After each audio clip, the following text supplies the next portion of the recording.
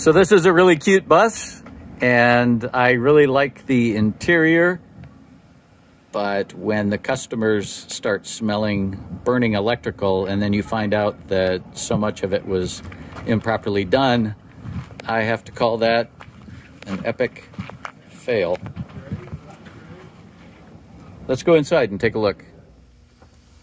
So just for frame of reference, this is the bed. Oh, and that's the mini split that has no condensation pan drain. So when it uh, when the condensation pan fills up with water, it just runs down on the bed. And then for frame of reference here, the batteries and everything are down below the bed. And here's Hi. here's the owner.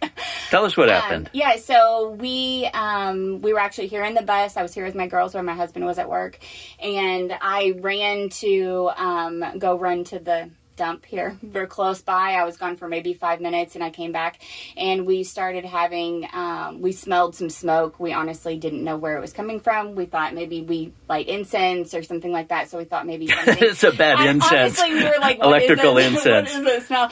And then um, I looked back here, and this whole the whole bedroom was full of smoke.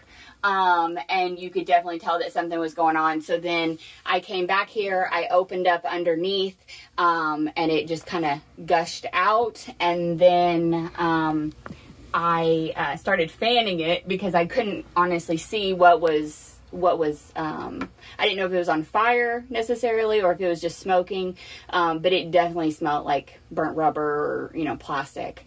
Um, I actually first thought I left something in the oven, and for some reason the oven caught something on fire. I honestly didn't know. So, um, but then once I came back here, that's what that's what we saw, and um, turned off the inverter switch, and um, that was that was about it. So, and then started calling around to have people help me. Well, this is, uh, I was pointing out, they turned off the inverter, which stopped the, the current, the draw through this terminal, and that stopped the smoking and everything. But if there was an emergency, if something had arced across here and these batteries needed to be disconnected, there's no disconnect in this system. So the only way to disconnect the batteries from the distribution lugs down here, the bus bars, would be to cut one of these cables or get in here with a wrench while it's all hot and smoking and take one of these nuts off and disconnect things. So they've got to have a disconnect put in here. I don't have one with me, um, but we'll put a disconnect in here. We're recrimping all these uh, connections. These are the ones that they did, and I'll show you a photo of what that looks like when we take the tape off. So this is how not to crimp a wire. Look at that. So they just sorry I'm shaking this. I'm crawling under this bed. Uh, looks like they just whacked it with a flat blade screwdriver on the insulation, but in here where it should be making contact, it's really not.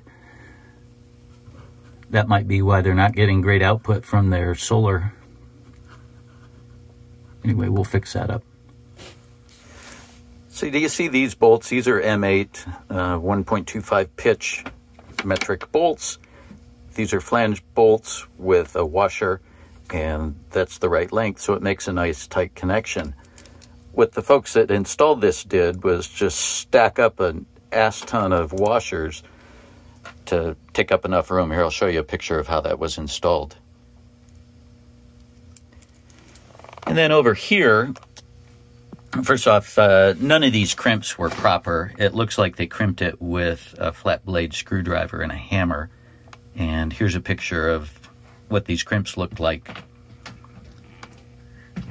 But because they were loose, they were creating a lot of heat, uh, high resistance connection. Now, this is properly crimped and covered with a heat shrink tubing that's got a an adhesive layer on the inside. So it's a proper mechanical weld done with a hydraulic crimp tool. And the idiots that put this system together really ought to invest in a hydraulic crimper. This is under a hundred bucks, and it makes a proper crimp and keeps things like this from happening. So this terminal lug, which is the main, uh, the positive to the inverter, the most high draw connection, was on this fuse right here and the nut was just finger tight. So because that wasn't tight, it doesn't create a good connection. And even though it didn't blow the fuse, it wasn't too much current, so the fuse didn't blow. But this terminal, this ring terminal right here, was so loose that it was arcing and there's a lot of resistance and that creates heat and it melted this. So this is what the customers experienced. There's a little better view of that melted terminal there. And you can see the the insulation there is all melted. So let's take a look at this little rogues gallery of bad crimps.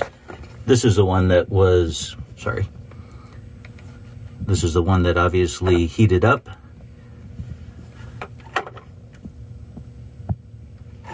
Mean, who calls that a crimp? There's that one. That one. These are just butcher jobs. Now you know why I call this the epic fail.